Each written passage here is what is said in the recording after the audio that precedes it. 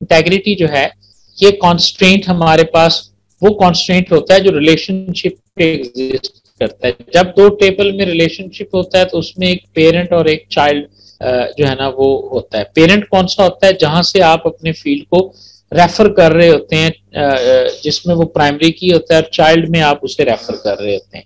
अब इंसर्ट के ऊपर रेफरेंशियल इंटेग्रिटी का मतलब ये है कि आप पहले पेरेंट में डाटा को दाखिल करेंगे तो उससे रिलेटेड डाटा आप चाइल्ड में दाखिल करेंगे। मसलन, अगर आप एक जो है वो दाखिल करना चाहते हैं ऑर्डर टेबल के अंदर, और उस कस्टमर का रिकॉर्ड पेरेंट टेबल में मौजूद नहीं है तो आप उसे नहीं कर सकते।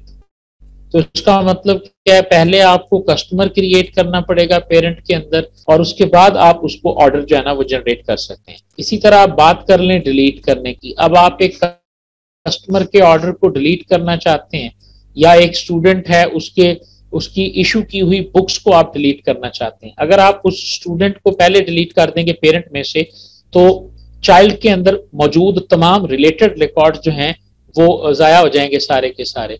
तो डिलीट करने के ऊपर रेफरेंशियल इंटेग्रिटी कंस्ट्रेंट क्या एनफोर्स करता है कि जी चाइल्ड में से पहले डिलीट किया जाएगा और पेरेंट में से बाद में डिलीट किया जाएगा। यहाँ पर बात करते हुए मेरे जहन में एक बात और आगे की उसे कहते हैं जी आर्फन रिकॉर्ड्स। Orphan records. अगर आप रेफरेंशियल इंटेग्रिटी कंस्ट्रेंट को वायलेट करेंगे तो आपकी डेटाबेस में जो नक्श पैदा हो सकता है, जो खामी इसमें आ सकती है, वो ऑर्फन रिकॉर्ड्स की आएगी कि आपने एक ऐसे पेरेंट रिकॉर्ड को डिलीट कर दिया जिसके चाइल्ड रिकॉर्ड एग्जिस्ट करते थे। ठीक है? तो इसका मतलब है ऐसे चाइल्ड का रेफरेंस तो खत्म हो गया।